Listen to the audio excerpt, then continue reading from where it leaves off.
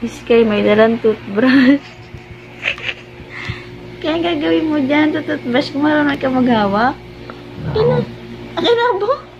Akin na, abo. Tapon natin yan. Abo, hmm? Tutut, marunong ka mag-toothbrush. Tingnan, sample toothbrush. ang cute na iskay. Na talaga, Sky. Ma, marunong siya mag-toothbrush. Nakahawak pa ba? Sky.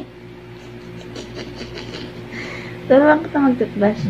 Okay, mama, dali. Bon, suplada mo naman. May porket may toothbrush ka, bo. brush, brush, brush. Three times a day. Bot, sa emos, guys. Kaya na. Tapon natin yan.